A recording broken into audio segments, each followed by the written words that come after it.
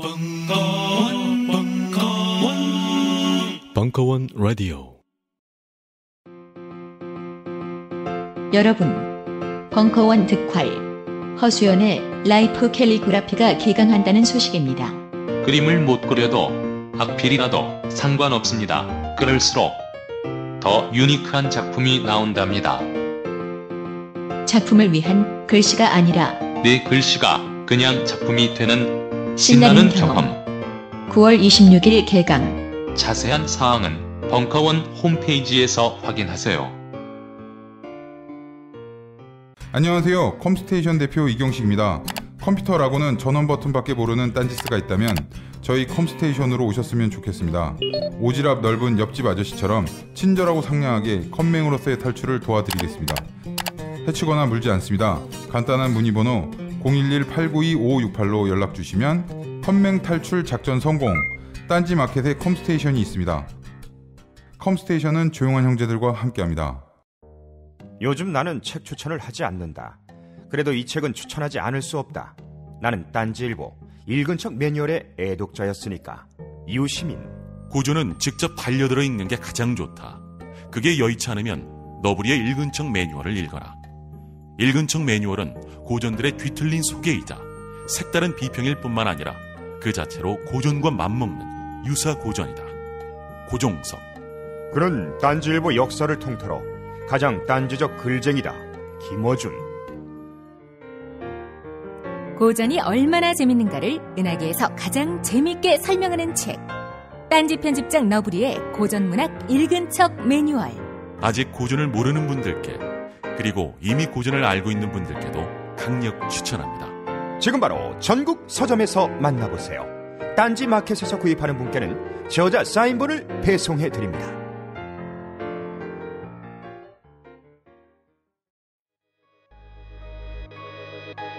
음악 밖의 힙합. 음악 이상의 힙합. 힙합과 좋은 친구들. 1강. 쇼미더머니. 힙합의 민족. 그리고 keep it real. 2016년 6월 13일 강연.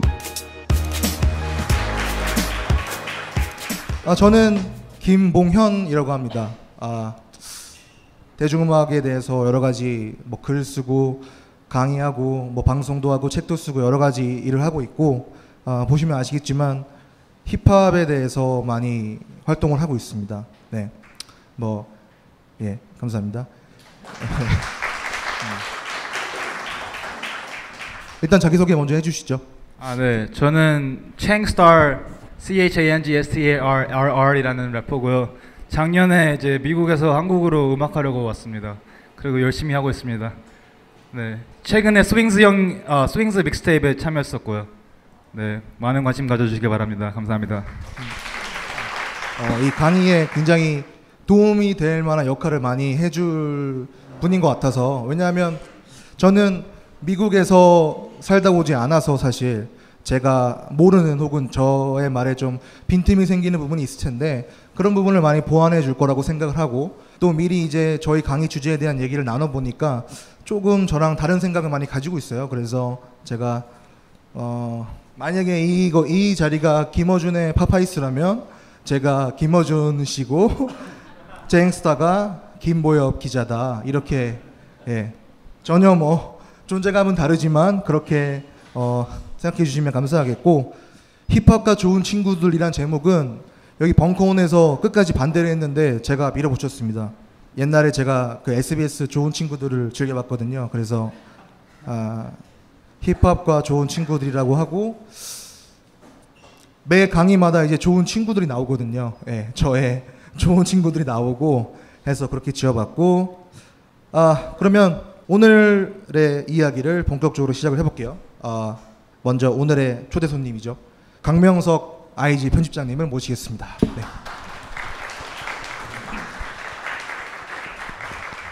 안녕하세요. 웹 문화 매거진 아이제 편집장 강명석이라고 합니다. 어, 강명석 편집장님을 제가 좀 소개해드리면 예전에 90년대 때 그 서태지를 알면 문화가 보인다라는 책이 있었습니다. 혹시 아는 분 계세요? 굉장히 혁명적인 책인데 그 책을 그 20살 때 20대 초반에 쓰- 쓰신 분이에요. 제가 그때 제 돈 주고 서- 사서 읽었었고 그 다음에 그 프리첼 시절에 트리플 크라운이라는 그 음악과 문화를 다루는 커뮤니티에서 활동하셨고 텐아시아 편집장을 거치셔서 지금 아이즈의 편집장으로 계시고 제가 이제 앞에 계셔서 하는 어, 말인데요. 그, 이, 그 굉장히 제가 존경하는 분입니다. 진짜로. 왜냐하면 연예 기사를 볼 때 저는 굉장히 연예 기사 자체를 좀 약간 존중하지 않았어요. 솔직히 respect이 제 respect이 없었는데 왜냐하면 굉장히 가십 위주고 어, 어떤 날카로운 분석이나 별 내용도 없는 예, 그런 기사가 많았는데 어, 정말 강명석 편집장님의 글은 저에게 최초로 이 연예계에 대해 다루면서도 굉장히 날카로운 분석과 통찰 그리고 어떠한 어, 좋은 의미를 만들어내는 그런 글을 쓰시는구나. 제가 대한민국에서 최초로 충격받은 그런 분입니다. 그래서 어, 1강에 모시게 되었습니다. 네. 네, 부끄럽고요. 네. 네. 그러면 힙합이 대중화되었다고 사실 많이 말을 하죠. 언론에서도 그렇게 단정적으로 많이 쓰고 힙합이 대세다 이런 얘기들 많이 하는데 아, 일단은 여기 있는 두 분에게 제가 질문 드리고 싶은 게 힙합이 아, 대중화되었구나 혹은 와 이제 힙합이 정말 인기 있네라는 걸 느껴 느끼셨던 어떤 그런 순간들이 있을까요? 간단하게 좀 말씀해 주시죠. 저는 한 3년 정도 전에 그 여름 방학이었던 것 같은데 그때 한국에 놀러 왔 놀러 왔었는데 그때 이제 무슨 콘서트인지는 정확히 기억이 안 나는데 쇼미더머니 출연했던 래퍼들이 되게 많이 나오는 콘서트였거든요.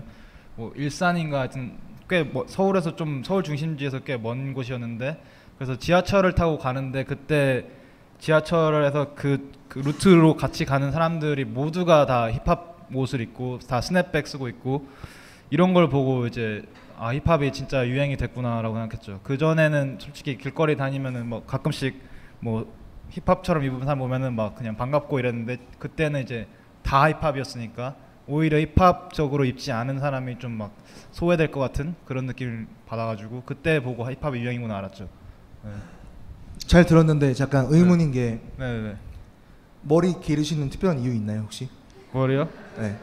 그냥 궁금해서. 그냥 네. 그러니까 평생 좀 짧, 짧은 머리 하다가 심심해서 이제 뭐 대학교 졸업할 때쯤부터 기르기 시작했는데 지금은 한 1년 반 정도 된 것 같고 근데 미국에서는 반응이 되게 좋았어요 친구들이 요 파워 율쿠 막 이랬는데 한국 오자마자 이제 김봉현 씨 같은 분이 왜 머리 기르냐고 자꾸 자꾸 어, 뭐라고 제가 하시는데 언제, 언제 그랬습니까 제가?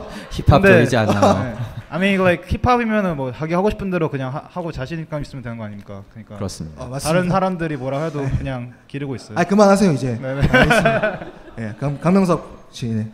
예, 뭐 사실 힙합 은 사실 이미 힙합이라는 장르 이전 힙합 스타일이라고 해야 될까요? 힙합적이라고 했던 하는 단어 자체가 이미 한 10여 년 전부터 어느 정도 유행했던 것 같아요. 그때도 이미 힙합 패션, 패션 으로서의 힙합이라든가 아니면 대중음악의 힙합적인 느낌이라는 거는 계속 있어 왔거든요. 그런데 이제 장르로서의 힙합 그러니까 요즘 나오는 뭐 쇼미더머니 곡들 같은 힙합 곡이 이제 어떤 TV 활동 없이도 성공한 거는 요 한 3, 4년 사이의 일 아니었나 싶고요. 그런 점에서는 이제 어떤 패션으로서의 힙합 아니면은 음악적인 어떤 비트로서의 힙합 그런 부분에서 이미 유행이 됐던 게 이제 3, 4년 사이에는 완전히 음악으로서의 힙합까지 하면서 완전히 그 한 장르가 어떻게 보면은 락이라든가 그런 다른 장르에 비해서 더 확실하게 뿌리 박은 장르가 되지 않았나 싶어요. 다만 이제 오늘 얘- 할 얘기겠지만은 이런 힙합의 대중화라는 관점이 이제 대중이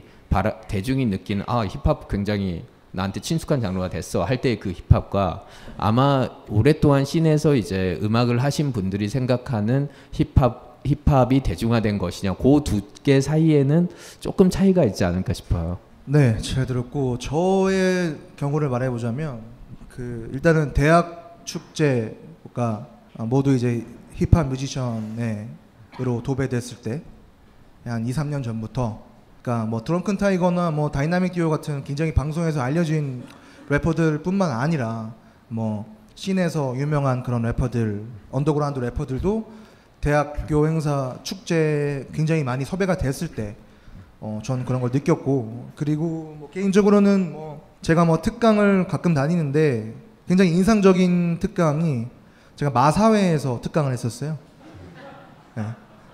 과장님들 대상으로 제가 뭐 힙합 문화에 대해서 얘기하고 막 그런 걸 했었어요. 근데 그런 걸 보면서 와 이런 기업 공기업 이런 기업에서도 나를 찾는 거 보니까 힙합이라는 게 그래도 많이 알려지고 실체가 어떻건 간에 뭔가 많이 hot하게 보이기는 하는구나라는 생각을 했습니다. 근데 이제 저같이 힙합 scene에서 오래 활동을 하고 그런 사람은 어, 조금 뭐 좀 막혀 있 막혀 있게 보일 수도 있지만 힙합이 대중화가 되었다 혹은 뭐 힙합이 대세다 이런 이야기들이 굉장히 좀 찝찝한 구석이 많거든요. 왜냐하면 뭔가 거품과 유행의 면도 분명히 있고 해서 어, 좀 정교하게 이 현상을 바라보려고 늘 애를 쓰고 있는데 일단은 그 여러분한테 오히려 묻고 싶어요. 그 힙합의 대중화라고 할 때 그럼 예를 들자면은 유재석 씨라든가 송혜 씨가 CF에서 랩을 하는 게 과연 힙합의 대중화인가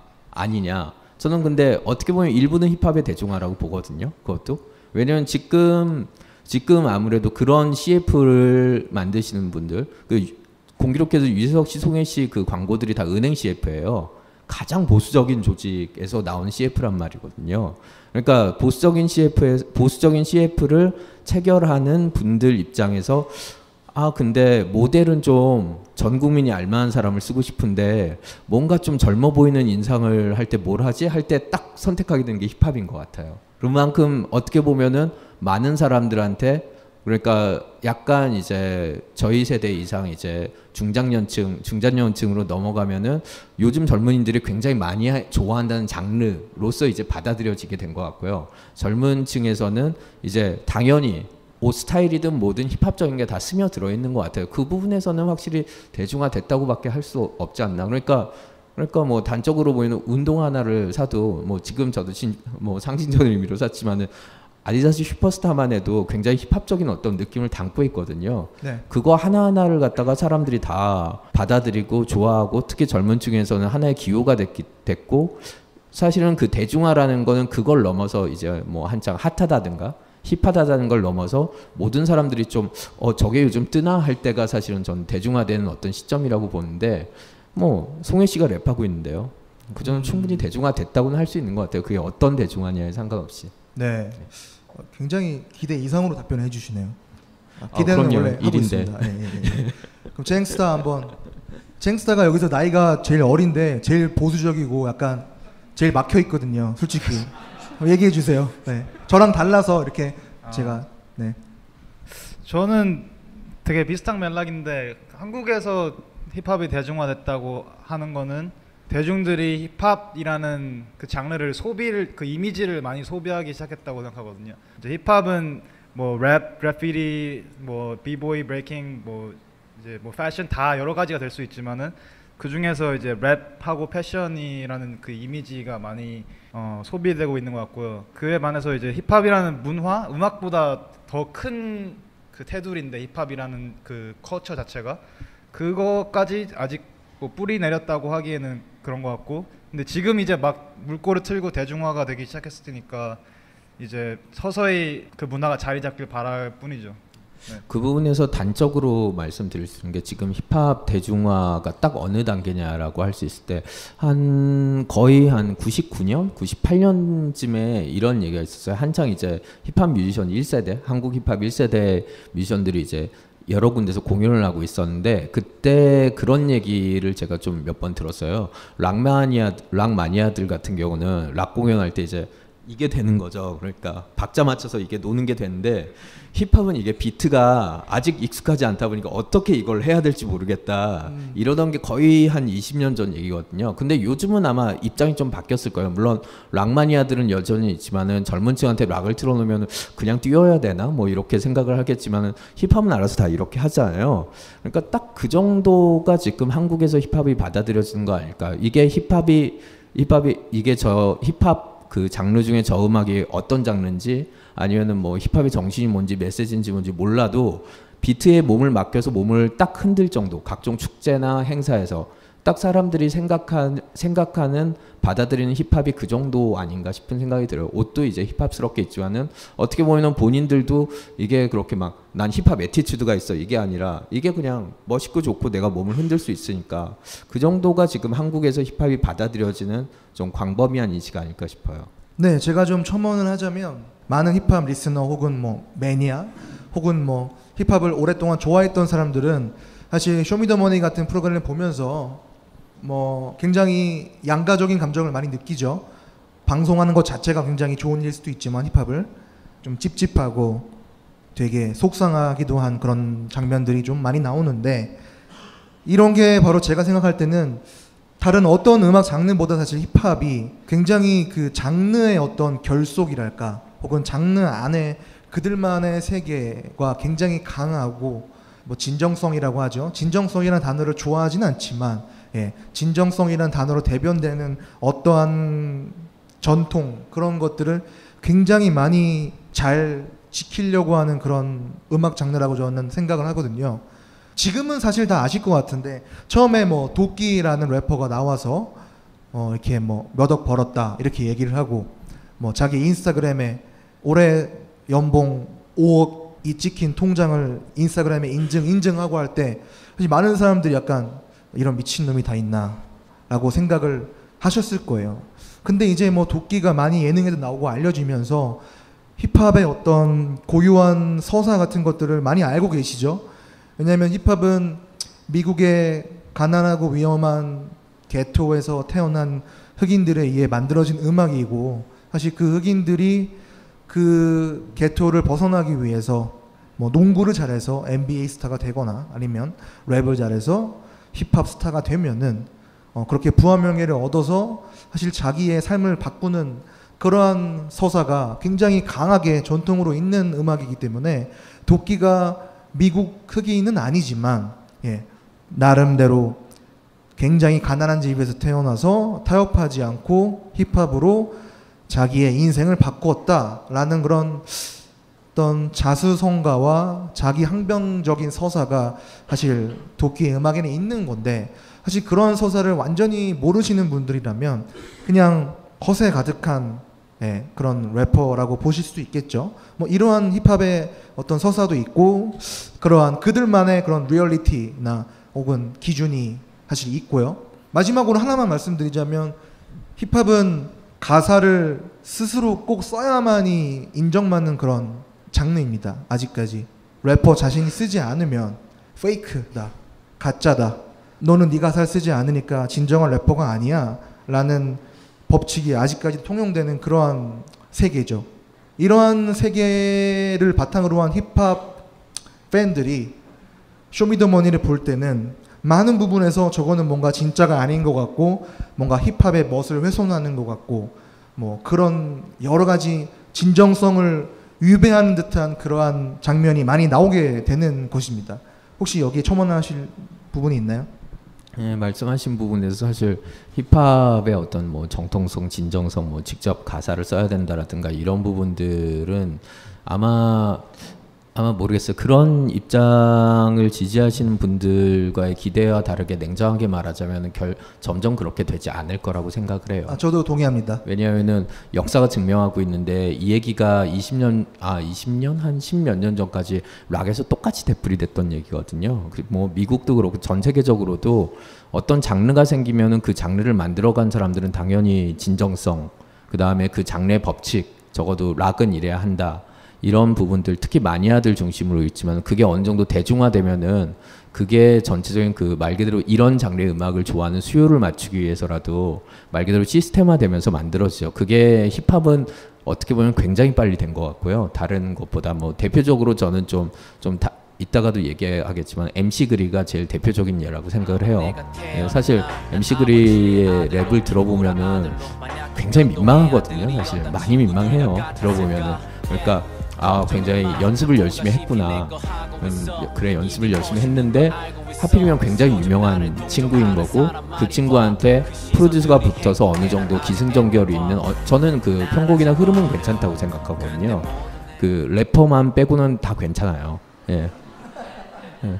네, 물론 근데 저는 물, 그런데 그 곡이 그렇다고 나쁘다고 생각하진 않은 게 그 MC 그리만이 사실 그 노래 가사 내용은 전 세계에서 그 친구 하나만 할 수 있는 얘기거든요. 그리고 그 친구만 그 친구에 대해서는 전 세계 모든 사 아니야 전 세계는 아니고 한, 모든 한국인들이 다 아는 사람이 그 사람만 할 수 있는 얘기를 했을 때 그만큼 파급력이 있다라는 거죠. skill이나 이런 부분들을 떠나서.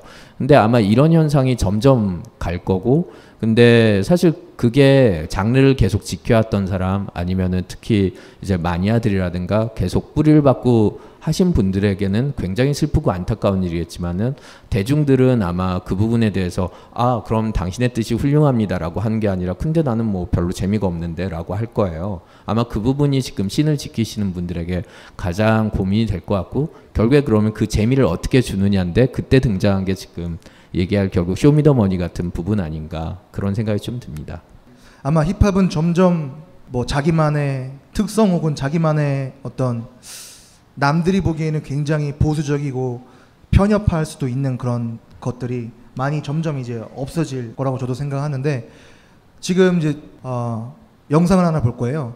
어, 쇼미더머니에서 힙합 scene에서 한국 힙합 scene에서 쇼미더머니 시즌 다섯 개 통틀어서 가장 꼴사납다고 평가받은 장면을 한번 볼게요.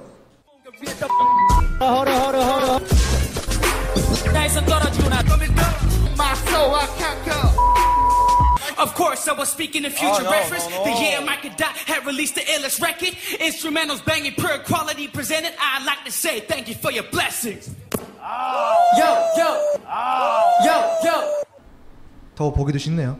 그냥 중간에서 끊겠습니다. 아, 이 장면이 이제 작년 쇼미더머니에서 스눕독이라는 래퍼를 초청을 해서 그 앞에서 cypher라고 하죠. 네, 래퍼들이 뭐 원을 그리거나 이렇게 둘러서 앉아서 둘러서서 저마다 자기의 랩을 돌아가면서 하는 그러한 전통적인 힙합의 그런 문화라고 해야 되나 그런 것이 있는데 그런 것을 재현하려고 했다고 하면서 이 룰을 마이크를 먼저 잡은 사람이 랩을 할 수 있고 시간 내에 마이크를 잡지 못하면 탈락이다 라고 룰을 어, 만들었어요. 그러니까 당연히 저렇게 막 마이크 잡으려고 막 긴, 긴장하고 서로 몸싸움하고 막 밀치고 이런 꼴사나운 모습이 연출이 되었던 거죠.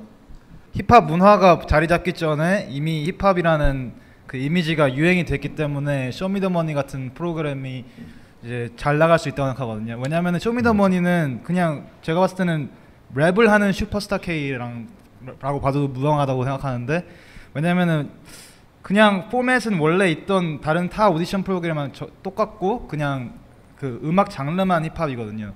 그래서 힙합 문화가 유행하는 게 아니라 이제 다시 돌아서 힙합 음악이 유행하게 된 건데 저는 이제 쇼미더머니 자체는 확실히, 확실히 힙합을 한국에서 유행하게 해줬기 때문에 힙합 씬에 도움은 많이 되었지만 그 또 반대로 힙합을 힙합이 문화가 한국에 자리 잡기 전에 이미 힙합을라는 이미지를 너무 상업화 시켜 버리기 때문에 앞으로 힙합 문화가 그 쇼미더머니 때문에 자리 잡기가 더 힘들 거라는 그런 생각을 한국 같은 경우는 힙합에 대해서 가장 먼저 바, 대중적으로 그래도 받아들여진 시작이 사실은 사실은 밀리바닐리라든가 아니면 기억하시는 분들은 이제 정말 연식을 증명하는 건데 크리스 크로스라고 있었잖아요. 예.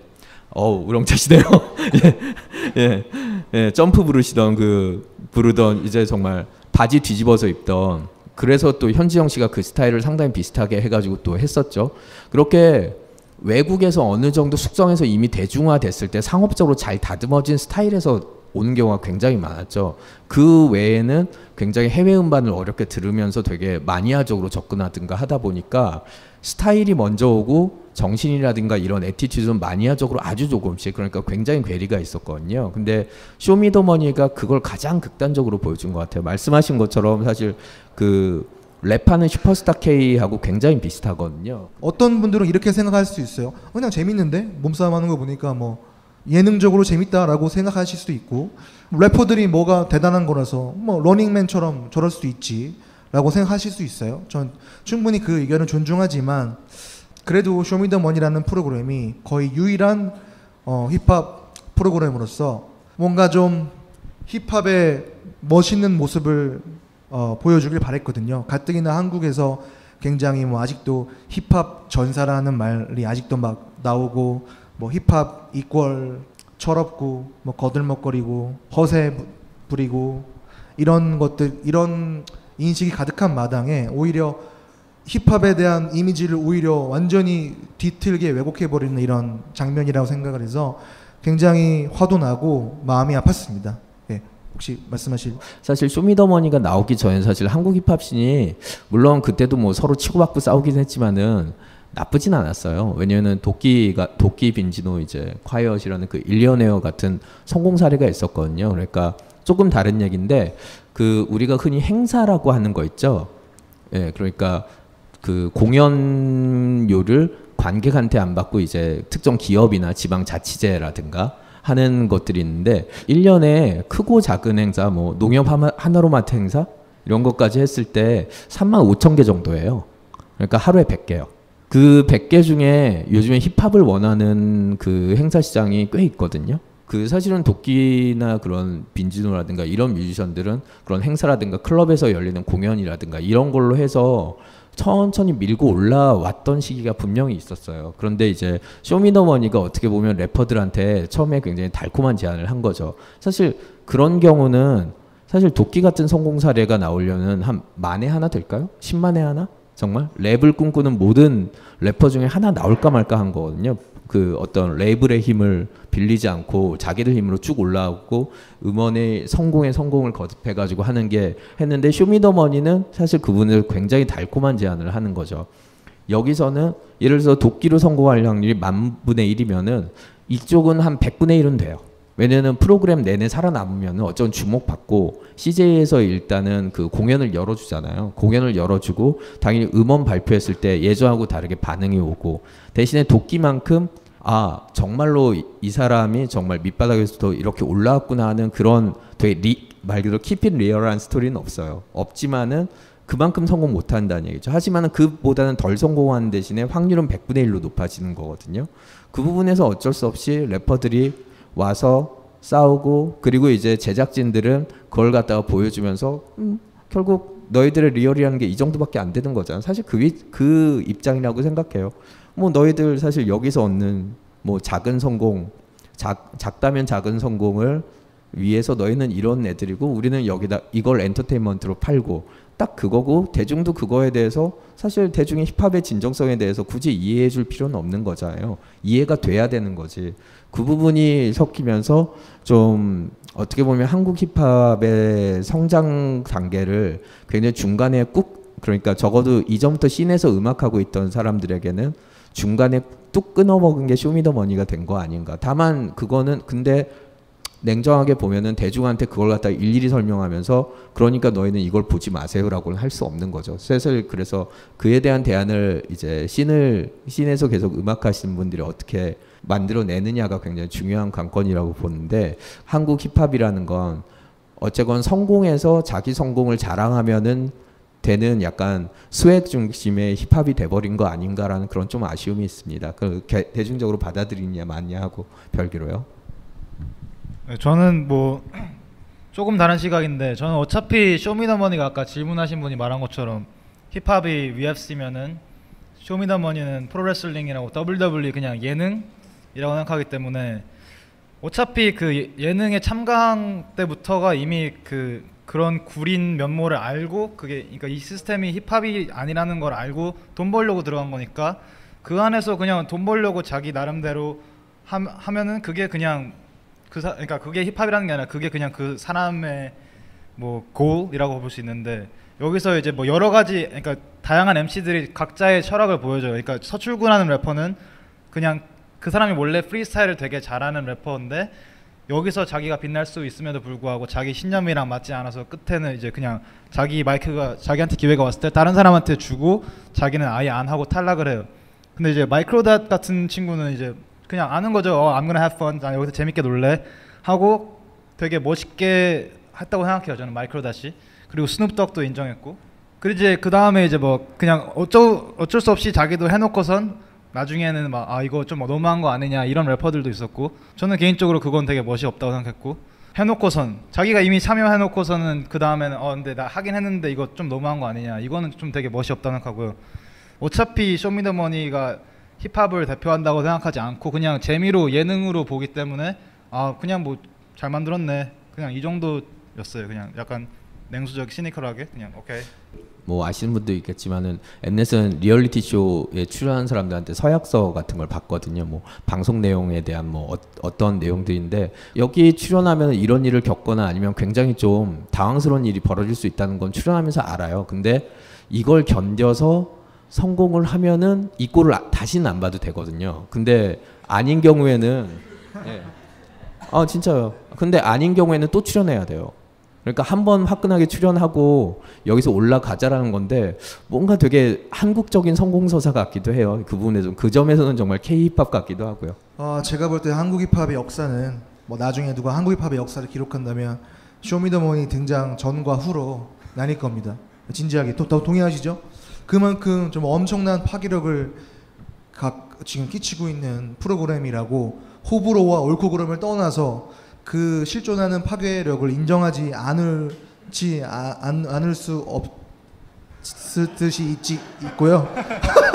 아 참 당황스럽네요. 빅그린 투 쓰리 샴푸 이걸 쓰면 머리카락에 힘이 생깁니다 말도 안 되는 제가 지난 시간에 머리카락이 힘이 생긴다고 그래가지고 말도 안 되는 소리라고 그래서 광고 떨어질 줄 알았거든요. 근데 진짜로 힘이 생긴다는 걸 증명하기 위해서 광고를 연장하였다.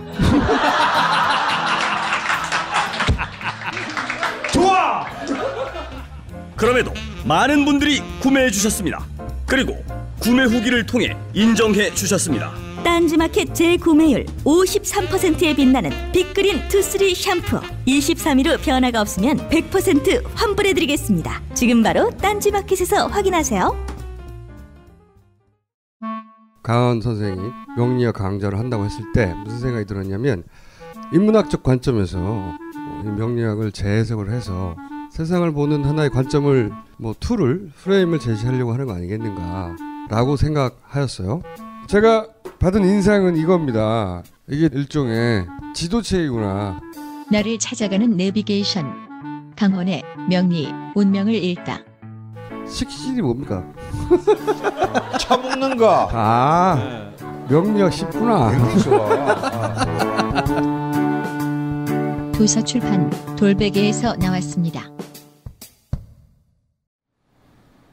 상당수가 어 이거는 조사에도 나왔어요. 한국 사람들이 그 음악을 접하는 가장 많은 창구가 TV예요. 예를 들자면은 가창력 좋은 가수다. 그럼 그 가창력 좋은 가수들은 새 음원을 발표하는 게 아니라 일단 불후의 명곡이나 나는 가수나 뭐 요즘 판타스틱 듀오라든가 이런 프로그램에 출연해야 되는 거고 힙합이다 하면은 일단은 쇼미더머니에 출연을 해야 지금 자기가 속해 있는 시장 바깥으로 더 크게 나갈 수 있는 여건이 상당히 쉬워지는 거죠. 어떻게 보면은 쇼미더머니 자체가 조금 더 한 발 물러떨어서 아주 냉정하게 보면은 힙합만의 문제가 아니라 한국 대중음악 자체가 TV 엔터테인먼트의 일부로 지금 많이 이렇게 속해진 거 아닌가. 그 예외적인 경우는 비- 이제 별로 없는 것 같아요. 또 영상을 하나 볼게요. 아 이게 바로 이제 이번 시즌 장면인데요. 아 굉장히 제가 상징적인 장면이라고 생각을 했고 강의 때 무조건 보려고 했는데 강명석 편집장님께서도 이 부분을 꼽아주셔서 우리는 통했다. 이렇게 생각을 했습니다. 네 한번 보시죠. 쇼미더머니를 diss하셨다는데. cheat key 안 써도 우리 회사가 한국 대표다 이런. 쇼미더머니. cheat key cheat key cheat key cheat key Show me the money cheat key 안 써도 한국 대표 근데 cheat key를 썼네요. 네 써, 쓰게 됐어요 왜 썼어요? 돈 벌려고 네 네. 이 장면이 중요하다고 생각하신 이유가 뭘까요, 강명석 편집장님? 사실 지금 현실을 딱 보여주는 것 같아요. 레디 같은 래퍼라면은 예전이라면은 아- 아마 scene에서 잘 커가지고 어느 순간 이제 대중적으로 알려질 어떤 기회들을 그러니까 리얼리티 쇼 프로그램 없이도 해결할 텐데 사실 안 되는 거예요. 정말 나와야 되는 거죠. 이제는 쇼미더머니에 나오지 않으면은 너무 늦거든요. 너무 늦기도 하고 본인이 어떻게 보면 가져야 할 자, 자리를 굉장히 쇼미더머니의 다른 래퍼들이 굉장히 쉽고 빠르게 하면서 자, 거기서 밀려난다는 걱정도 있었을 거고요. 말 그대로 말 그대로 쇼미더머니 자체가 래퍼들한테는 cheat key인 거거든요. 빠른 시간에 내 캐릭터와 나의 서사를 나의 내가 어떻게 살아왔는지 그리고 내가 얼마나 랩을 잘하는지 알려주고 그걸로 해서 성공을 성공으로 갈 수 있는 통로를 열어준다. 그러니까 치트키를 쓴 거고 그 다음에 굉장히 좀 정말 쿨하게 돈 벌려고 나왔다. 그게 정말 지금 한국 힙합 씬의 어떤 어떤 그 좀 고민이라든가 아니면 대중이나 래퍼들 모두에게 쇼미더머니가 어떤 의미인가를 좀 잘 보여주는 것 같고요. 다만 저는 저 장면을 굳이 넣거나 저런 저런 쇼미더머니에 왜 출연했냐 이런 식으로 물어보는 것 자체가 좀 쇼미더머니도 굉장히 쿨하지 않구나라는 정말 뒤끝 쩌는구나라는 생각을 좀 많이 했어요. 그러니까 굳이 말하자면은 사실 정말 쿨하면은 그냥 출연했네 뭐 이러고 나서 뭐할 수도 있는데 저렇게 좀 위압적인 상황, 가장 위압적인 어떤 상황이거든요. 그 다른 프로듀서들이 이렇게 내려다보고 있고 이제 랩을 잘못하면 이제 바닥으로 떨어지는 약간 그런 상황에서 굳이 그걸 물어보는 장면을 넣고 얘는 결국 우리 힘에 굴복해서 나온 것 자체가 음 아무래도 이 프로그램은 어쩌면은 여기까지가 어떤 엔터테인먼트로서는 좀 재미의 한계일 수도 있겠다는 생각이 들고요. 저렇게 좀 쿨하지 못하면은 거기까지가 저는 재미의 한계라고 보거든요, 늘. 솔직히 뭐 옛날의 도끼였으면은 저도 연태 도끼, 도끼 옛날부터 팬이어서 아는데 막 엄청 구리다고 했을 거란 말이에요. 옛날에 뭐 언더그라운드 mix, 언더그라운드 믹스테이프 내고 이럴 때 도끼는 막 막 레디 구리다라고 했을 건데 여기서 그냥 뭐 멋있다고 해주는 게 자기들도 똑같은 위치에 있으니까 그렇게 했다고 생각하거든요. 예, 그러니까 참 그 요즘에 뭐 약간 농담으로 쓰이는 단어 중에 하나가 효도 힙합이라는 얘기가 있는데, 예, 그러니까 힙합인데 되게 나는 부모에게 힙- 효도하겠어 효도 힙합 약간 이런 이런 약간 약간 이런 부분에 대해서 좀 약간 실제로 그런다라는 게 아니라 약간 한국 힙합이 이상하게 원래 힙합이라는 건 어떻게 보면 자기가 할 말을 하는 거기 때문에 누가 됐건 뭐 힙합 스피릿이라고 할 때 이제 누가 됐건 나는 내 할 말 당당하게 하겠어. 약간 이게 어쨌건 핵심이라고 보거든요. 내 할 말을 하고 어 당신이 날 싫어해도 난 오케이. 그 대신 내 메시지는 명확하게 전달하겠었는데 뭔가 저 장면부터가 프로듀서와 그 래퍼 사이의 관계에서 위아래 상하 관계가 있고 약간 정말 참 뭔가 한국적인 상황이에요. 뭔가 나이라든가 어떤 그 상황에서의 지위 고하로 이렇게 위압적인 분위기를 만들고 자 그럼 저희 랩을 테스트 받겠습니다 이런 거 자체가 어, 뭐 효도 힙합 내지 유교 힙합 같은 그런 느낌이 좀 들 때가 있어요. 그걸 쇼미더머니가 쇼미더머니의 약간 프로그램 내 모순이라면 모순이 좀 그런 부분이 있는 것 같고요. 그러니까 출연자들끼리는 뭐 디스를 하고 뭐 SNS 상에서 싸우게 해도 이상할 정도로 프로듀서한테는 굉장히 깍듯하게 그 대하거든요. 깍듯하게 대하고 그걸 지켜야 되고 그리고 그리고 약 그리고 이제 다만 그게 안 지켜질 때는 떨어졌을 때나 뭔가 판정 번복할 때 그때는 심사위원들을 욕하는데 사실은 사실은 돈, 서로 돈 벌려고 나온 거면은 심사위원들이 심사위원들이 뭐 합격을 하건 실패를 하건 그 심사위원들한테도 저는 근데 도끼실은 별로예요라고 말할 수 있는 좀 그런 프로그램이 돼야 되지 않나 싶은데 어, 합격 불합격 나오기 전까지는 진짜 서로 서로 깍듯하거나 아니면 굉장히 한쪽에서 뭔가 거의 반말에 가까운 태도를 한다거나 하는 게 그것도 되게 한국적인 상황 같아요 여러모로 거짓말 한 거보다는 낫죠. 그러니까 뭐 정말 돈 벌고 싶어서 자기의 말을 뒤집었고 그것을 솔직하게 말한 것이 뭐 가식을 떨거나 거짓말로 꾸민 것보다는 낫다고 생각을 하는데 이 뭔가 편집 뉘앙스가 어떤 느낌을 주냐면 야, 솔직하게 말했잖아. 그러니까 뭘 더 이렇게 캐 물으려고 해. 솔직하게 말했는데 약간 이런 느낌 있잖아요. 그러니까 뭔가 이 그러니까 저 레디 개인에 대한 감정은 없습니다. 제 라디오에 출연한 적도 있고요. 부산 여행 갔을 때 만난 적도 있어요 작년에. 근데 이게. 개인에 대한 감정은 없는데 이것은 레디 개인의 문제가 아니라 어떤 쇼미더머니를 디스하고 반대하던 래퍼가 왜 입장을 180도로 바꾸었는가는 굉장히 좀 구조적인 문제일 수도 있고요. 이 개인에 떠나서 씬 차원의 문제로 조명할 수도 있는 문제인데 굉장히 쿨레나는 그런 태도들이 있잖아요. 뭔가 조금만 더 캐내려고 하고 조금만 더 좀 진지한 한 가치를 논하려고 하면은 그냥 아, 너 왜 이렇게 진지충이야 막 이런 얘기를 하면서 더 이상의 어떤 생산적인 논의를 막으려는 그러한 태도 같은 뉘앙스 그런 것들이 좀 느껴졌고요. 흔히 보통의 사람들이 겉으로 드러내기 꺼려하는 그런 것들, 그러니까 한마디로 송, 개- 어, 속물적이라고 일컫는 태도들이 있죠. 돈 벌려고 뭐 하려고 그래, 뭐 이런 것들. 그러니까 저- 그런 것들을 다 좀 적당히 포장을 하잖아요. 어떤 대의에 입각해서 다르게 포장을 하는데 사실 힙합이야말로 다른 어떤 음악보다 그러한 인간의 속물성을 부끄럽지 않은 것으로 만들어버린 그런 음악이라고 저는 생각을 하거든요. 기본적으로. 예. 그래서 이 말에는 사실 그러한 것도 느낄 수 있어서 힙합 음악을 계속 좋아했던 사람들은 이 레디의 이 돈 벌려고 라는 말이 굉장히 솔직하고 힙합적으로 멋있게 보이는 태도일 수도 있어요.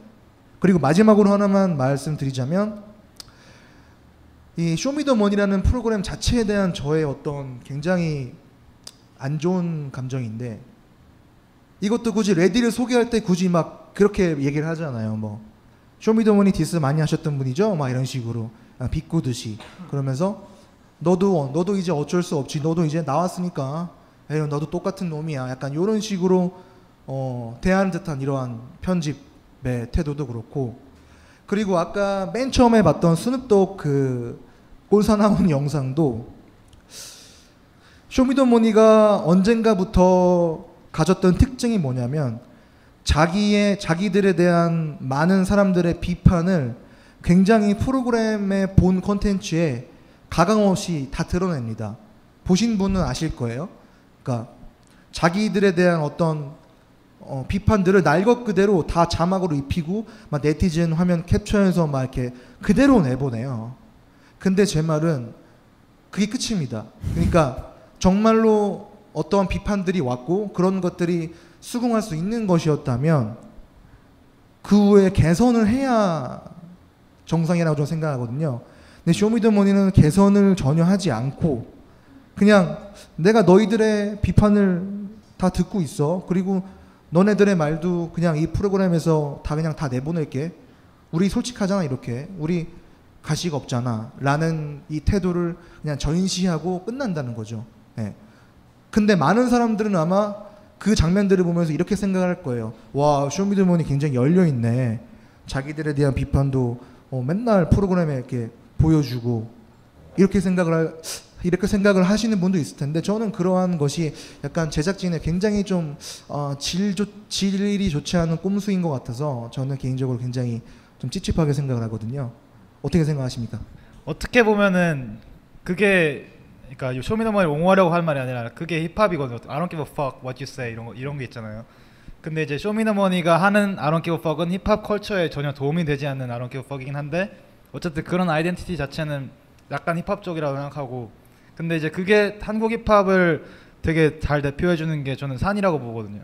쇼미더머니는 프로그램적인 산이라고 생각해요. 왜냐면 산이는 되게 힙합 팬 힙합을 진짜 사랑하고 힙합 문화를 아는 사람들한테는 완전 약간 역적 반역자 같은 느낌이 이 발라드 랩 소위 이렇게 뽕기 있는 랩 힙합이 아닌 그냥 한국적인 노래 형식 형식에 맞춰서 하는 랩을 하고 이- 하면서 자신이 엄청나게 힙합 스타다라고 하는 그런 이미지를 하고 있는데 사, 힙합 듣는 사람들은 다 산이를 별로 안 좋아해요 그런 쪽에서 왜냐면은 그 사람이 대표하는 게 힙합이 아니고 그냥 K-팝 랩으로 된 K-팝인데 자기가 마치 힙합의 대표인 양 뭐 쇼미더머니 MC로 나오고 언프리티 랩스타 뭐 힙합의 민족 이런 데서 다 MC로 대표 MC로 나온단 말이에요.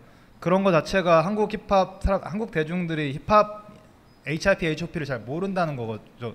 산이가 그 대표로 나올 수 있다는 거를 그냥 그렇구나 하고 수용할 수 있다는 그 환경 자체가 뭐 그게 그냥 한국 힙합의 현실이라고 생각하고 산이 착해요. 욕하지 마. 근데 욕하지 또 하나 마세요. 더 중요한 게 한국 사람들은 되게 제가 봤을 때 인성을 너무나 중요시하는 것 같아요. 인성은 되게 주- 중요한 quality죠 살아가는 데 있어서. 근데 이제 랩하는데 랩 래퍼인데 랩이 더 인성보다 훨씬 중요하다고 생각하거든요. 실력이. 실력이 있고 그 다음에 인성이 좋으면 스타가 될 수 있지만 실력이 인성 인성부터 이제 너무 사람이 이 사람은 진짜 좋은 래퍼 아, 착한 래퍼야 이거 이렇게 해서 이제 그 사람이 인기를 끄는 거는 저는 되게 좀 모순적이고 좀 이상하다고 봐요. 왜냐면 랩 실력으로 떠야지 실 뭐 이센스 같은 사람은 전 진짜 대단한 래퍼라고 하거든요. 근데 한국에서는 뭐 마약쟁이 막 이렇게 프레임이 되어 있는데 저는 그런 사람이 훨씬 더 힙합이고 훨씬 더 멋있는 래퍼라고 생각하거든요. 네. 뭐 사실 쇼미더머니 같은 경우는 이런 식의 어떤 비판이라든가 아니면 아쉬운 점 얘기해도 사실 제작진들이 거기에 뭔가 움직이고 하지는 않을 것 같아요. 그냥 쇼미더머니에 대해서 내릴 수 있는 최고의 디스는 아마 재미없다일 것 같고요. 그리고 이제 하는 하나 걱정되는 거는 슈퍼스타 K 때로 잠깐 되돌아가죠. 슈퍼스타 K 때 시즌 2 때 장재인 씨가 그때 되게 화제가 됐었고 그 다음에 강승윤 씨가 이제 YG로 이제 들어갔고 허각 씨, 존박 씨 되게 이제 스타가 됐었잖아요. 어쨌건 그런 시절이 있었는데 그래서 그때 한동안 유행처럼 이제 이제 버스킹이라든가 어쿠스틱 기타라든가 이런 것들이 좀 화제가 됐었죠. 그것도 사실은 조금 상황이 비슷한 게 그때 이미 한 몇 년 사이 2000년대 중반 사이 중반에서 10년대로 올 때쯤에 이제 10cm라든가 아니면 장기하 얼굴들이라든가 국카스테린이라든가 그 다 그때예요. 슈퍼스타 K2 나오기 직전. 직전에 다 뭔가 뮤지션으로서 뭔가 아 인디씬이 요즘에 되게 웅성웅성하다며 핫하다며 그리고 거리에서 공연하는 친구들이 많다며 하던 시절에 나온 게 슈퍼스타 K2였거든요. 근데 그 뒤로 생각해 보면은 그때 뭐 별 얘기 다 나왔어요. 뭐그 어, 어쿠스틱 기타가 많이 팔린다. 아니면 뭐 삼위각기 그 주가가 올랐대더라. 이런 얘기도 있었는데 아 잠깐 오르긴 올랐어요. 진짜로 오르긴 올랐는데 지금 이제 생각해 보면 그런다고 한국 음악씬이 바뀐 일은 없었어요. 그냥 그대로 가다가 한 3, 4시즌 이제 좀 지나서 5시즌부터 급격하게 이제 하락세를 타기 시작하고 결국에는 그 기운이 이제 이제 쇼미더머니 그 다음에 프로듀스 101을 옮겨왔다고 보거든요. 아이돌과 힙합으로. 그러니까 그 지금 그 당시에 핫한 장르인데 이 프로 쇼미더머니가 굉장히 인기를 얻고 핫하다고 해서 힙합씬이 과연 그렇게 커지고 대중화될까? 사실은 그 반대 관계가 아닐까 싶은 건 있어요. 특히 이제 그 생각이 많이 든 게 쇼미더머니 5를 보면서 든 생각인데 확실히 재미 측면에서 저는 3시즌은 진짜 재밌게 봤거든요. 밥이 나왔을 때. 밥이 나오고 이제 뭐 진짜 말 그대로 말 그대로 계속 삐 소리 나오고 할 때 그때는 되게 신선한 충격이었는데 엔터테인먼트적인 부분에서 4시즌은 그거의 재탕이었는데 재탕이었다고 봤어요. 근데 5시즌은 재태 재탕의 재탕이더라고요. 그러니까 3시즌부터 출연했던 출연자가 마치 여고괴담처럼 또 나오고 또 나오고 너 아직도 나와? 너 4강까지 올라갔는데 또 나와? 약간 이런 일들이 계속 반복되고 있고 심지어 어떤 출연자는 아 그 시즌에 나는 나가 아니었다며 또 자기 부정하고 또 나오고 이러면서 이제 대립 관계도 나올 게 나오고 한마디로 그 한 씬에서 이제 축적해 놓은 어떤 에너지라든가 인적 자원이 세 시즌 지나가니까 점점 이제 봤던 게 돼버리고 있고 그러면 이제 아마 천천히 아마 결국에는 하락할 거라고 생각을 해요. 다른 모든 리얼리티 쇼가 그렇듯이 아메리칸 아이돌도 이제 폐지됐거든요. 근데 그 다음에 그럼 힙합에는 뭐가 남을까라는 부분은 좀 저는 힙합 바깥에 있는 사람이지만은 약간 걱정이 되는 건 있어요. 쇼미더머니가 결국에는 시청률에 의해서 재미없다는 소리를 듣고 천천히 내려왔을 때 힙합씬은 그럼 지금까지 그런 식으로 TV 리얼리티에 최적화돼서 래퍼들도 활동을 하고 래퍼들의 어떤 랩이라든가 내용이라든가 아니면 활동 방식까지도 그쪽에 맞춰 있다가 그게 하락세를 타고 더 이상 그게 어떤 동력이 못 됐을 때 그게 이제 5시즌이니까 슈퍼스타 K가 지금 이 모양 이꼴된 게 지금 7시즌째 이, 그렇게 된 거거든요. 5시즌째 확 망하고 근데 그럼 쇼미더머니도 결국 힙합도 결국 2, 3년 뒤에는 벌어질 가능성이 높다는 건데 그때 대해서 그때도 랩을 하고 싶어 하는 사람이나 지금 랩을 열심히 하시는 분들한테는 어떤 길이 있을까라는 거는 조금 걱정이 됩니다. 우리는 생각했습니다. 실외는 가까운 곳에 있다고. 우리가 파는 것은 음료 몇 잔일지 모르지만 거기에 담겨 있는 것이 정직함이라면 세상은 보다 건강해질 것입니다. 그래서 아낌없이 담았습니다. 평산네이처 아로니아 친친 친 지금 딴지마켓에서 구입하십시오. 또 하나의 힙합 예능 프로그램인 힙합의 민족에 대해서 이야기를 나눠보겠습니다. 쇼미더머니가 시작한 이후 어, 이 몇 년을 통틀어서 가장 무게감 있게 방송국에 편성, 편성된 힙합을 소재로 한 프로그램이기 때문입니다. 그냥 10회나 했다는 게 예. 파일럿이 아니라 10번이나 했다는 게 어, 그래도 10번이나 하네 이런 생각을 들게 만들었어요. 그래서 준비를 해 봤는데 힙합의 민족 혹시 다 보셨나요? 안 보셨어요? 네. 저도 안 봤습니다.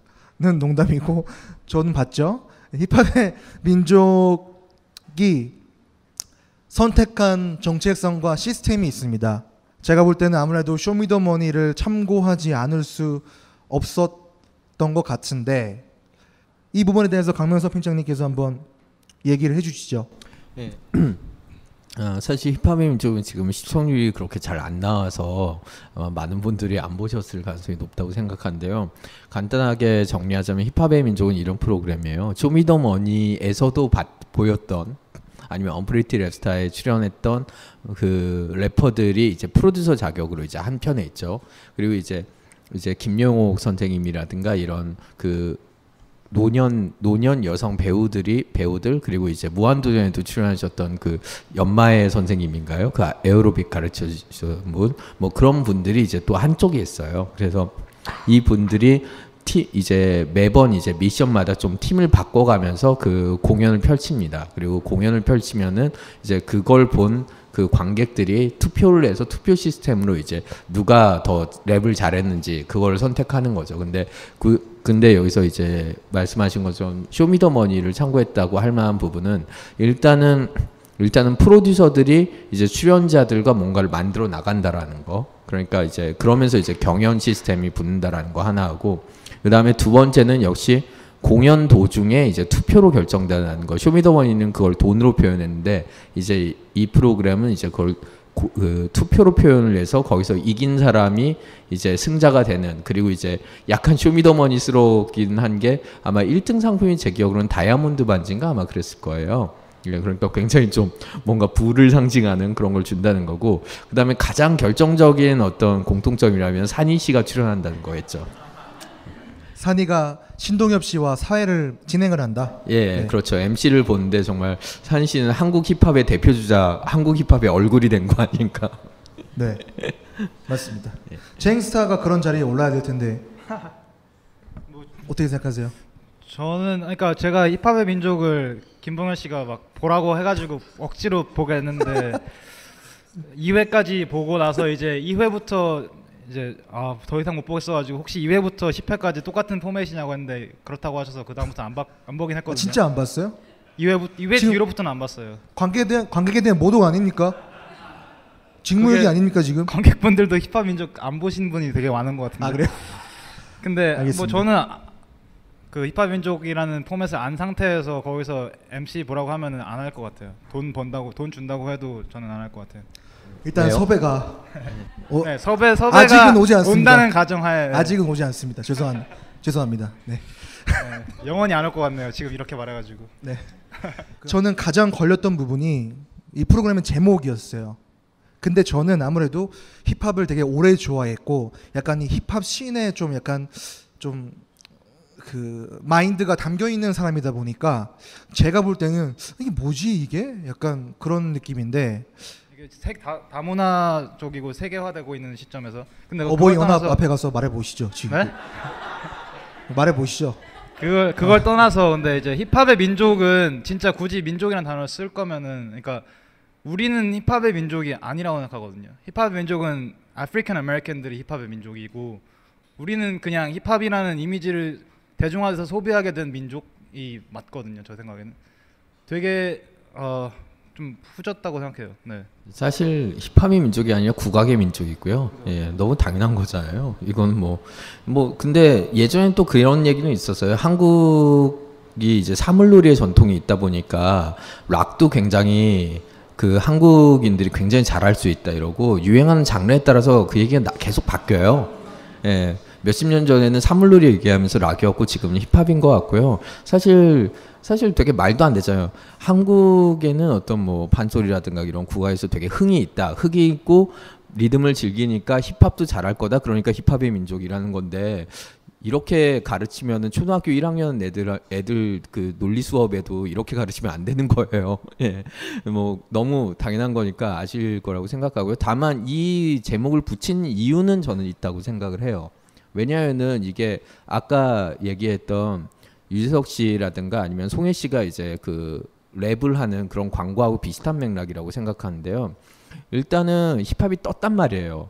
제작진들 입장에서는 쇼미더머니도 떴고 그리고 산이 씨는 MC로 데려올 수 있고 그럼 이제 프로그램을 만들 수는 있는데 쇼미더머니처럼 만들 수는 없잖아요. 그리고 래퍼들을 출연시키지만은 그들끼리 또 경연을 시킬 수는 없고 근데 분명히 아마 예능 제작국에 있는 국장님이나 아니면은 그 위에 있는 사장님 같은 분들이 그 생각을 했을 거예요.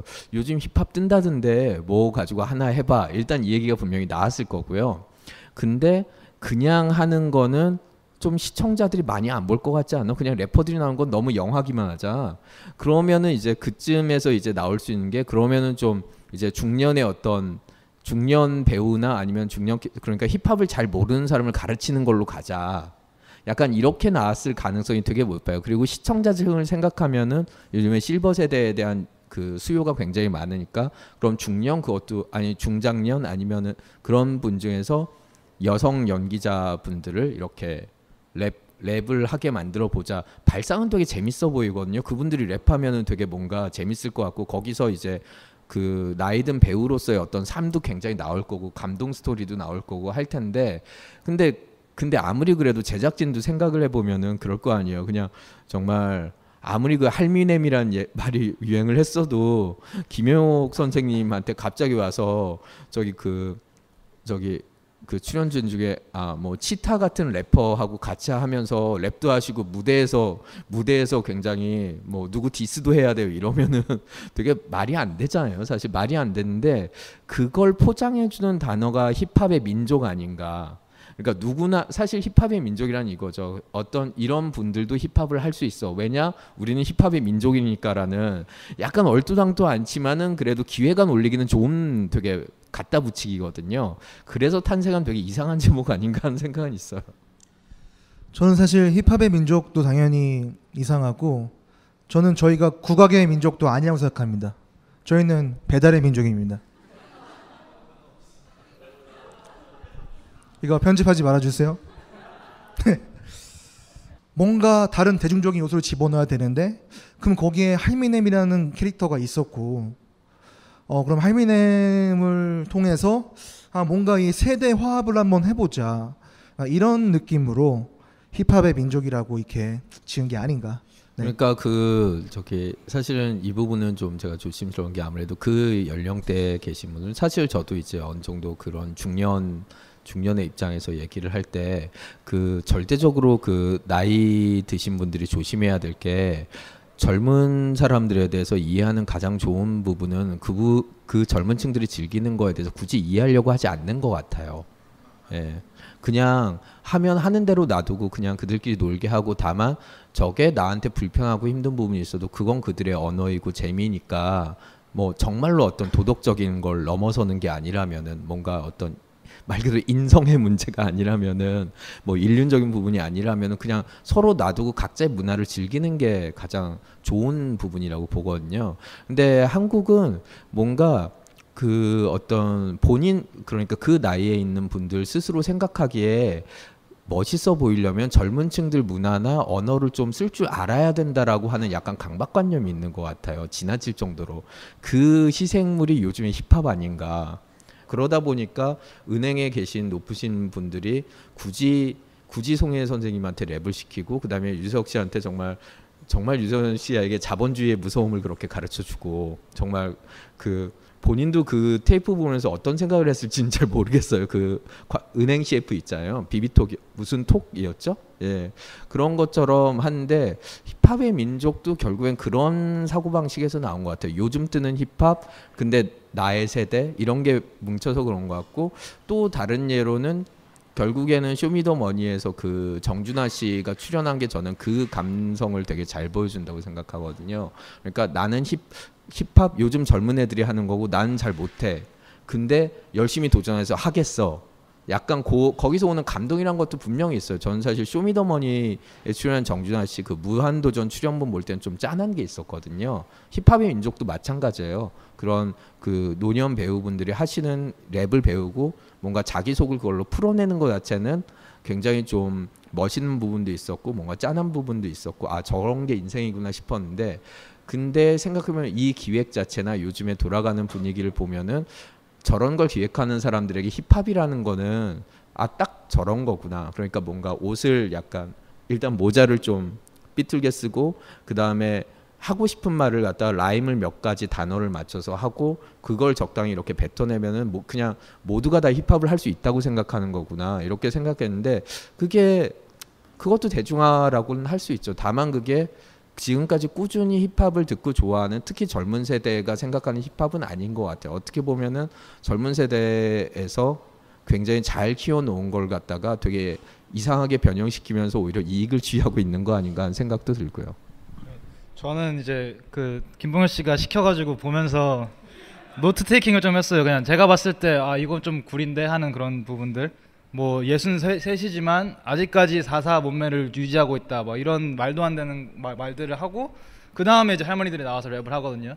그런 거는 진짜 되게 좀 어, 힙합 자체도 아니고 그냥 지극히 한국적인 예능이라고 생각했고 힙합 문화 이런 역사 아니면은 그 힙합의 기원 그런 거에 대한 설명은 하나도 없이 그냥 바로 대, 대중들이 어차피 힙합이라는 음악 포맷을 아니까 그것만 이제 사용해서 할머니들한테 이제 그냥 힙합적인 기술하고 멋을 이렇게 습득시켜 주는 거죠. 이렇게 살아보게 하는 게 살고 뭐 공부해서 깨닫는 게 아니라 그냥 여기 이쯤에서 요요 하면 되고 여기서 이렇게 춤추면 되고 이렇게 기술적인 것만 가르쳐 주고 전혀 힙합에 대한 이해가 없이 그렇게 포맷이 진행되고 그 다음에 이제 2회부터는 경연을 하더라고요. 그 이제 경연 한번 보고 아 그냥 뭐 잘하시는구나 할머니인데도 불구하고 멋있게 하셨구나 이 정도였지 와 힙합이다 이런 거는 전혀 없었고요.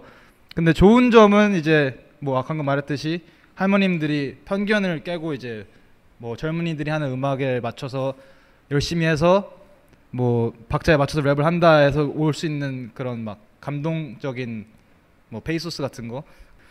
네. 뭐 그 정도. 이, 2회만 보신 거 치고는 상당히 많은 거를 발견하셨는데 뭐, 네.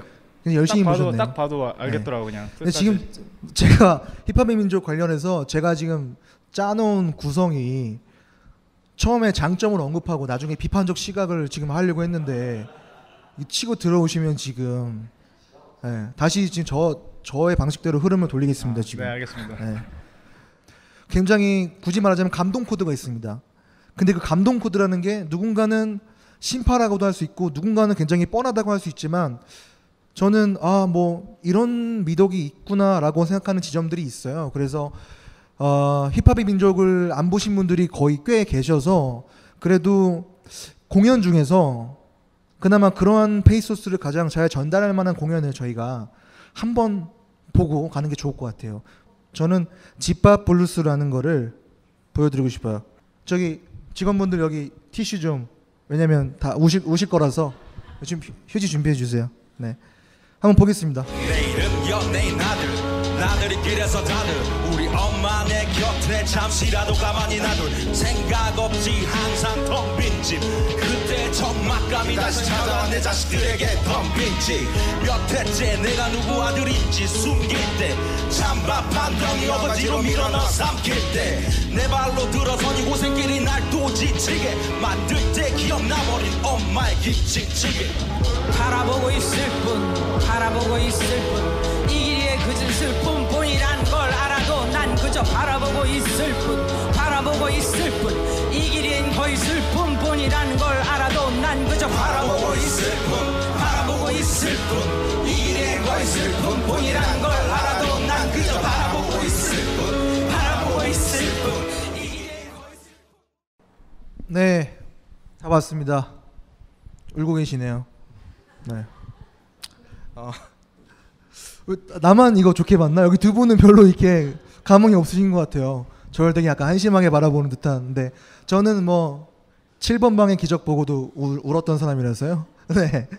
있고 사실 저 무대도 분명히 울컥하는 부분이 있고 한데 다만 이제 저 프로그램의 미덕은 분명히 있다고 생각을 해요. 왜냐면은 결국에는 힙합이라는 게 자기 이야기를 꺼내서 푼다라고 하는 부분에서는 굉장히 좀 인정할 만한 부분이 있고 오히려 쇼미더머니보다 나은 부분도 있다고 생각해요. 그 점에서 내 얘기를 어쩌건 하고 그걸 그 내 자기 얘기를 하는 사람에 대해서 어떤 출연자들에 대해서 최대한 존중을 해주잖아요.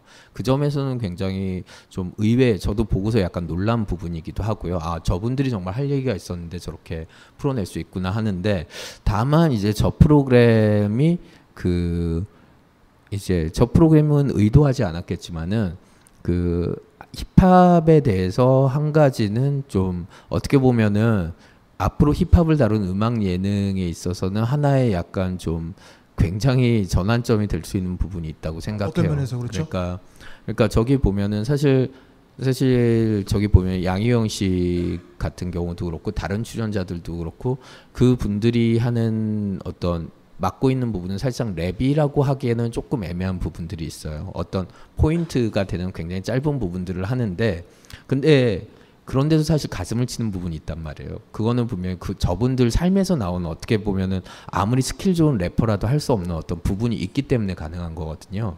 근데 그 부분만 있으면은 어떻게 보면은 저런 무대가 가능해진다라는 거죠. 음악 예능에서. 그러니까 이야기거리가 있고 그걸 누군가 랩으로 좀 다듬어주고 곡으로 만들어주고 그 다음에 저런 식의 어떤 게스트 그리고 좀 깜짝 놀랄 만한 게스트들인 거잖아요. 각자 가족들이 나온다든가 이런 거 자체가 시선을 모으면서 사실은 그러면은 근본적으로 이제 TV 안에서 소비되는 힙합이라는 게 이제 하나의 이런 코드로 자리 잡기 시작하면은 힙합이라는 게 뭔가에 대해서 뭐 사실은 시청자들은 사실 고민할 건 아닌 것 같고요. 음악 산업에 종사하는 사람들 아니면 래퍼들 입장에서는 좀 고민하게 될 부분들이 굉장히 많지 않나 싶어요. 그러니까 이건 쇼미더머니하고도 연결되는데 저분들이 그냥 저 노 배우들이 그냥 굉장히 유명하지 않은 유명하지 않거나 잘 알려지지 않은 단지 노인일 뿐이었다면 저런 무대를 만들지 않았을 거예요. 그리고 저분들의 스토리가 굉장히 뭔가 깊지 않으면은 얘기를 안 했겠죠. 근데 스토리가 있고 유명해지면은 일단 저런 식으로 여러 스태프들이 붙으면은 저런 정도의 무대는 이제 나올 수 있다라는 얘기거든요. 그러면 이제 아까 아까 얘기 나온 쇼미더머니의 레디 같은 사람의 입장이 되게 이해가 되는 거죠. 일단은 유명해져야 주목을 해주고 유명해지고 주목을 해주면은 다른 것들은 굉장히 회사가 붙어서 제작진들이 붙어서 하는 시점에서 유명 실력은 좋지만 유명하지 않은 래퍼는 정말 발 디딜 데가 없다라는 얘기거든요. 그런 점에서는 좀 제작진들의 의도하고는 별개로 좀 시사하는 바가 굉장히 많은 것 같아요. 그러니까 아주 극단적으로는 여기 있는 여러분 중에 누군가 아니면 저를 포함해서 할 이야기라는 게 뭔가 방송용으로 굉장히 좋다고 하면은 저희도 래퍼가 될 수 있는 거죠. 이게 대중화라고도 할 수 있고 어떤 면에서는 좋을 사람들이 쉽게 힙합을 정 합한다는 점은 좋은 점일 수 있지만은 음악으로서의 힙합에는 어떤 영향을 미칠지는 한 1년 정도 더 두고 봐야 뭔가 결론이 나올 문제인 것 같아요. 굉장히 굉장히 날카로운 지적입니다. 박수 한번.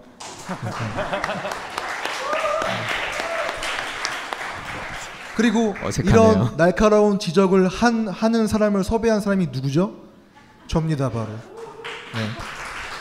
아, 맞아요. 굉장히 또 복합적인 진짜 복합적이고 날카로운 말씀을 해주셨고, 아 사실 제가 래퍼들의 어, 랩을 듣고 감동을 받은 지점이 원론적으로는 이 양희경 씨의 무대와 똑같습니다.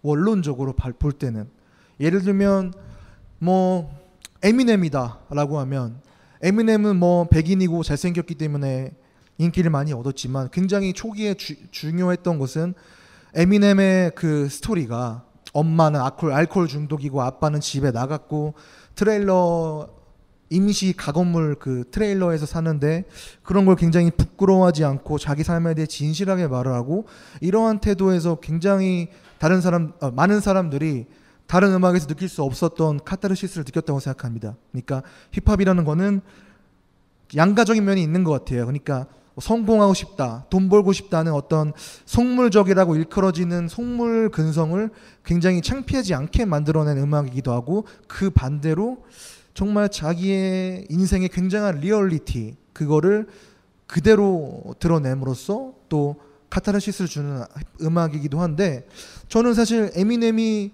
자기 음악에서 이렇게 막 공백 기간 동안 약물 중독됐다가 재활 치료 받아서 2009년에 컴백을 해서 컴백곡인 Not Afraid의 자기의 실제 스토리 난 약물에 쩔어 있었지만은 이제는 두렵지 않아 그리고 나처럼 삶의 밑바닥에 있는 사람들이라면은 날 보고 너희들도 어, 기운 내길 바래 약간 이런 굉장히 진실한 메시지들에서 어, 그 메시지들이 힙합의 굉장히 코어라고 생각하는데 저는 사실 이 무대를 보고서 그런 비슷한 걸 느꼈어요. 그래서 누군가가 에미넴의 랩은 진실에서, 진, 진실에서 좋다고 하면서 이 무대를 보고 심파라고 한다면 저는 굉장히 이중잣대라고 생각할 것 같아요. 그런 면에서 저는 좀 힙합의 굉장히 중요한 부분을 어, 본의 아니게 혹은 본이 의도한 대로 이 프로그램이 가지고 있다라고 말씀드리고 싶고요. 아, 그리고 이어지는 맥락에서 또 하나의 영상을 잠깐 볼 텐데 이 프로그램이 어, 시청률은 안 좋았으나 그래도 어, 비평 비평적인 측면에서 그래도 되게 좋은 평가를 받을 수, 좋은 평가 일부의 좋은 평가를 받을 수밖에 없게 만든 그런 하나의 대사가 있었어요. 제가 제가 생각하기에 그래서 이 힙합의 민족의 가장 마지막 부분입니다. 그러니까 마지막 회인 10회에서 엔딩 부분인데 어, 이 부분을 잠깐 보시겠습니다.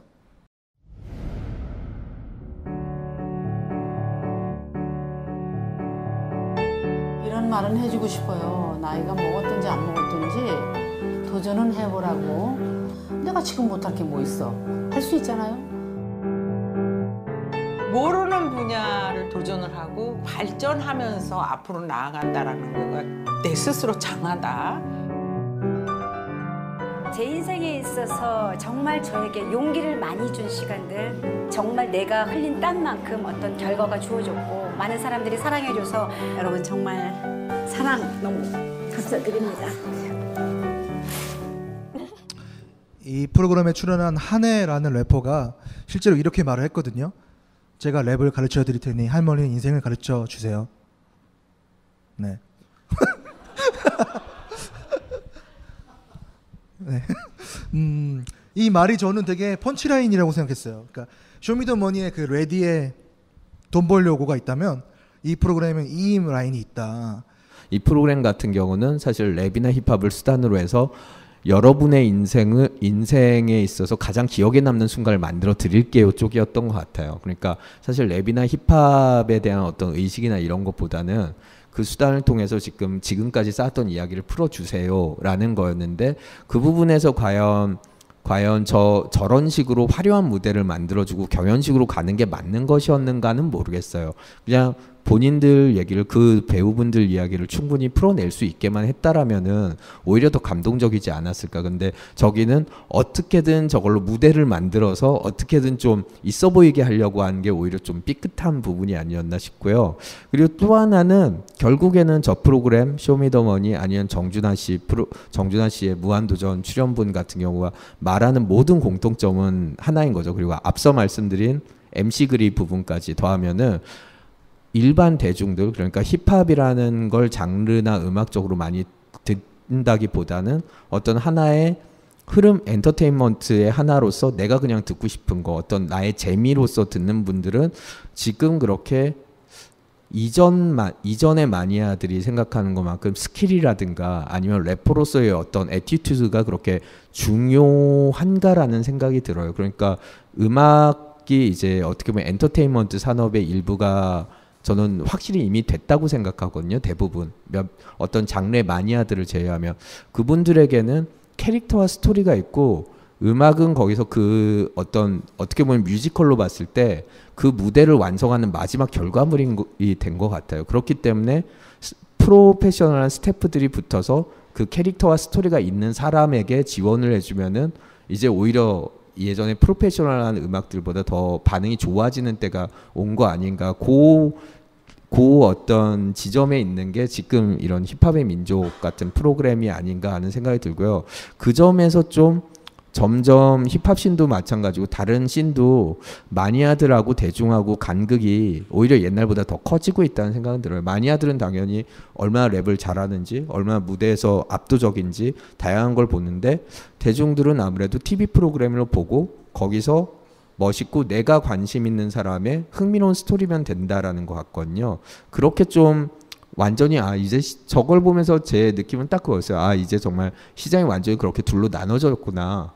약간 아 실력이 없, 없어도 상관없다는 게 아니라 실력이 어느 정도 그 정말 최소한의 어떤 요건만 갖추면은 그걸 끌어 이제 방송 스태프들이나 음악 스태프들이 그걸 최대한 끌어올릴 수 있구나. 그러니까 실력 이전에 뭔가 사람들이 알만한 캐릭터나 아니면은 마음 붙일 만한 스토리가 있는 게 대중적으로는 더 중요해져진 게 지금이구나라는 생각이 많이 들어요.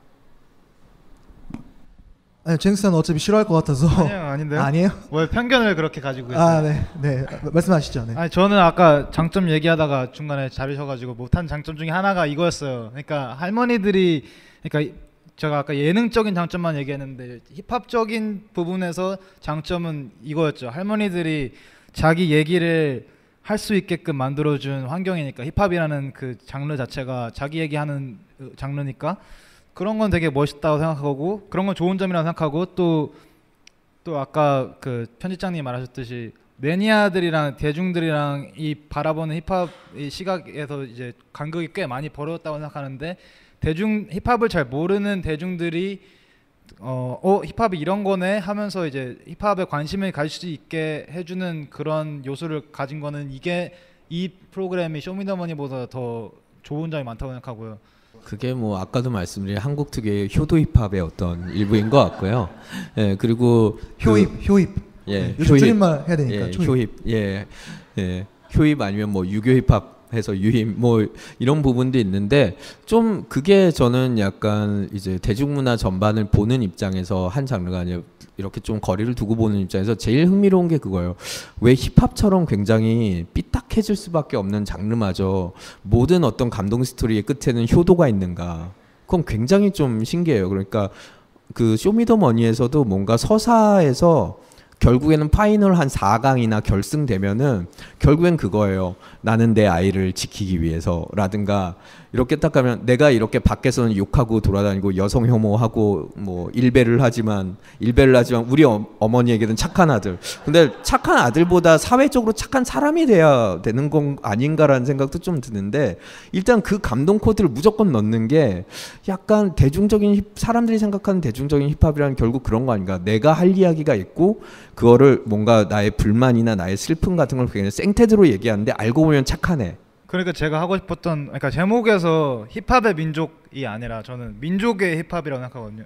그러니까 민족이 허, 허락한 힙합, 그러니까 힙합의 민족이 아니라 반대로라고 생각해요. 네. 그러니까 힙합의 많은 카테고리 중에 약간 swag나 diss 같은 요소들을 가지고 처음엔 되게 세게 나가고 자극적으로 하다가 마지막에 하지만 그런 나쁜 사람이 아니라 부모님을 사랑하고 부모님에게 돈을 사람. 예, 알고 보면 착한 사람. 요 스토리 라인인 게 늘 정말 너무 신기해요. 왜 모든 스토리는 다 그렇게 가는가? 그리고 그렇게 정말 예전에 예전에 정말 와 저렇게 살벌한 욕도 세상에 다 있구나 싶었던 욕했던 분들도 결국 TV 프로그램에서 결국에는 뭔가 개인적인 어떤 따뜻한 모습 보여주면서 그걸 다 푸는데 그냥 배드했으면 배드했으로 남아줬으면 하는 바람도 있어요. 근데 그렇게 남아서 살아남기가 힘들다고 생각해요. 왜냐면 인성이 중요하기 때문에. 네. 네. 저는 인성 되게 괜찮은 사람이라 생각하지만 아까 이, 아, 잠깐만 일, 일배를 하다가 집에서 따, 착한 아들이라고 말하신 건 말씀하시는 건가요? 뭐 그건 상상에 맡기겠습니다. 저희 일베르 탱스가 그분은- 랑 친하거든요. 네. 어쨌건 어쩌면 뭐 다음 주 주제하고도 넘어 이야기는 이야기인데 어쩌면 특정인이라든가 아니면 특정 성별이나 특히 약자 소수자에 대해서 굉장히 이제 어떻게 보면 담을 수 없는 언어를 쓰던 사람이 그 부분에 대해서 차라리 그런 것 같아요. 난 이렇게 생각한다 하고 세상의 문매를 맞고 거기에 싸우면은 제가 거기에 동의는 못하고 저는 그 사람을 비판하겠죠. 그래도 그 attitude는 인정할 것 같아요. 어 진짜 저 사람은 진짜 못된 놈으로서 그냥 자기 길을 가겠구나 하는데 그게 애매하게 하지만 나는 어머니에겐 착한 남자. 근데 세상 사람들에게 중요한 건 어머니에게 착한 아들이 아니라 세상 모든 다른 사람들에게 어떤 상식을 지켜주는 사람인 거거든요. 그 부분에서 왜 그걸 그런 식으로 약간 우회해서 이미지를 바꾸려는 시도를 하는가는 솔직히 인정이 안 돼요. 정, 정말 힙합적이면은 나의 어떤 세상에 반대되는 의견이라도 밀어붙여서 동의를 받든가 아니면은 공적이 되든가 해야 되는 거 아닌가 싶어요. 아 그러면은 저희 마지막으로 예 하나의 영상을 보면서 이제 마치도록 하겠습니다.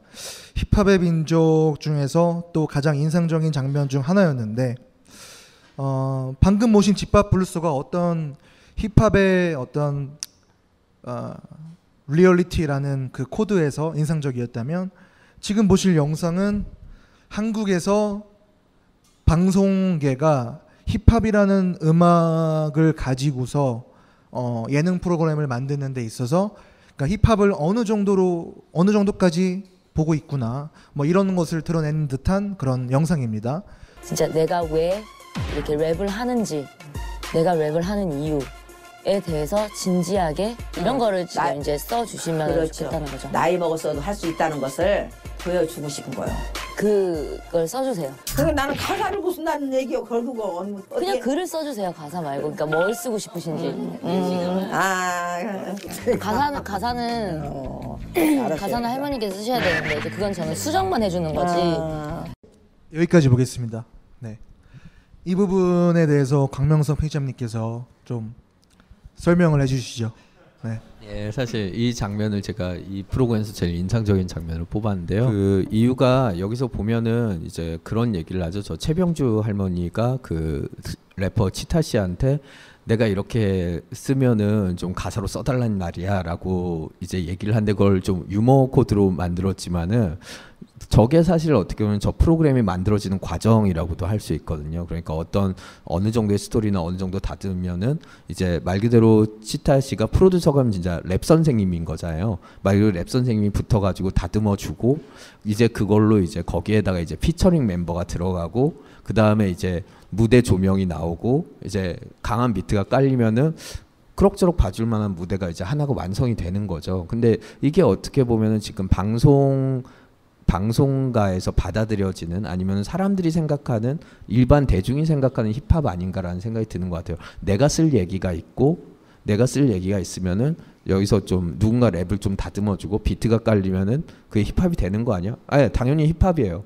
원래 그렇게 다들 시작을 하니까요. 시작도 하고 누군가는 그렇게 해서 욕도 먹고 하다가 하는데 근데 이제 이제 한국 한국적인 이런 이런 방송까지 나온 상황에서 이제 한국에서는 그런 거 자체가 아예 힙합은 다 그런 거니까 약간 그렇게 받아들여지는 그러니까 만들어지는 과정 자체를 좀 많이 오해하게 되는 경향이 있는 것 같아요. 그러니까 뭐 물론 저는 거기에 뭐 동의는 안 하지만은 그 전에 이센스 씨가 그 랩하는 개그맨에 대해서 굉장히 그 비판을 한 적이 있었어요 SNS 상에. 근데 사실 저는 개그맨들이 하는 것도 뭐 당연히 곡만 좋고 하면은 얼마든지 들을 의향도 있고 각자의 이야기가 있다고 보거든요.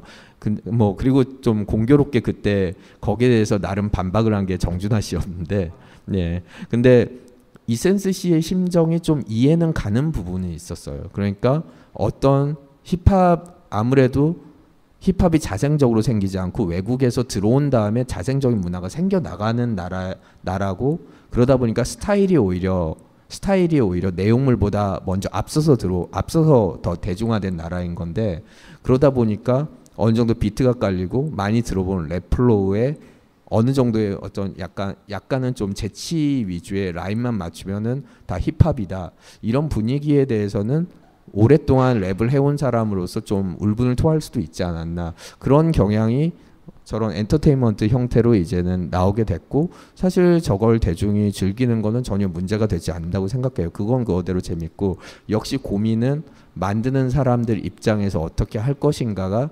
지금 엔터테인먼트 시대의 그 힙합 뮤지션들 그리고 힙합에 대해서 평하는 이제 김봉현 씨 같은 분들 모두가 좀 고민하게 되는 부분 아닌가 싶습니다. 어, 이 센스의 심정이 그 현대 그 등단한 현대 시인들이 하상욱 씨를 보면 느끼는 감정과 비슷한 건가요?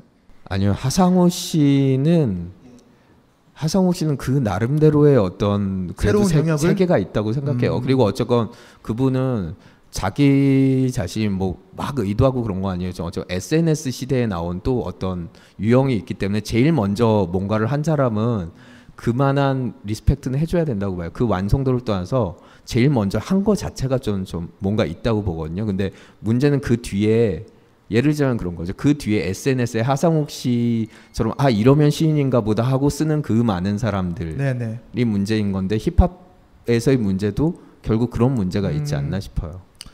그럼 뭐 없던 걸로 하겠습니다. 네. 뭐 틀리면 없던 걸로 하면 되니까요. 네.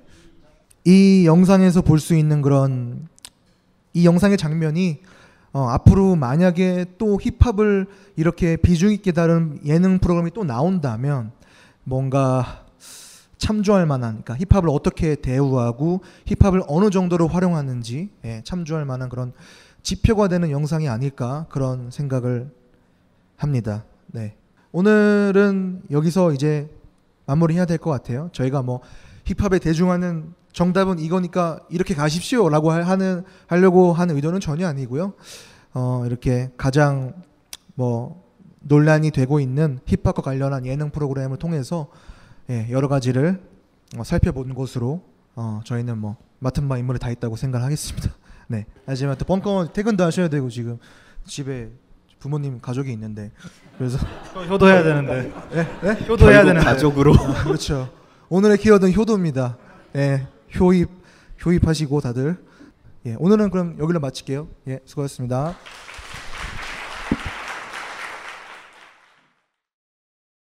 벙커원, 벙커원, 벙커원 라디오.